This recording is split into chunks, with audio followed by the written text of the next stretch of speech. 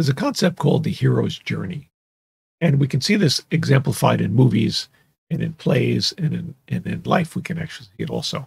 And what, what happens is the hero starts off in, in a story with a couple of problems. And then he meets someone, you know, the girl of his dream or the, or the man of, of, of her dreams. And they need to overcome these problems in order to win that person over. And then they go and they meet a mentor or a guide who can help them along the way, who can help them overcome these problems. And then at the end, they all succeed and they live happily ever after. We can see this in movies like Star Wars. Luke is is starting off as a uh, as this kid who really doesn't know anything, and he's he's kind of living a romantic life where he wants to go off and fight the, fight with the Empire and stuff like that. And then he meets he meets a, uh, a mentor or a guide along the way. He meets Obi Wan Kenobi, who's a guide who's going to teach him some stuff.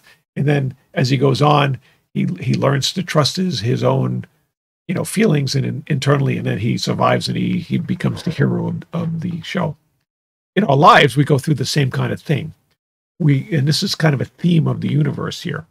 We're on this kind of hero's journey, and what we want to do is we want to look at well, what things do I need to overcome in order to achieve the things I want to achieve in life?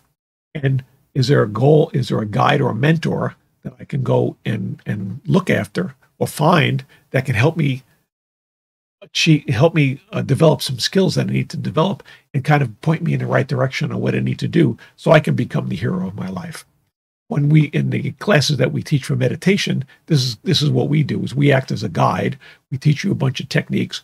We help you understand how to use those techniques to implement them in your life.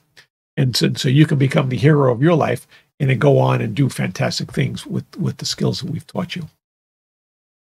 Learn to meditate because everyone deserves to be a life changing personal experience. Stay positive and focus on what you want.